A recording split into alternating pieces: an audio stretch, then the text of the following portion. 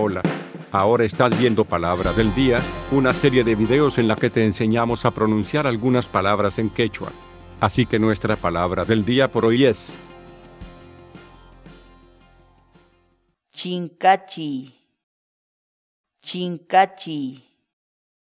Chincachi. la palabra quechua. Chincachi. En español significa hacer perder algo, extraviar. Por ejemplo, Chincachini. Carrupi tulumpita. Este video ha sido revisado y aprobado para su publicación por la Academia Mayor de la Lengua Quechua, Cusco. Teléfono 084-315296. Dirección, calle Chaparro 231, Cusco, Perú.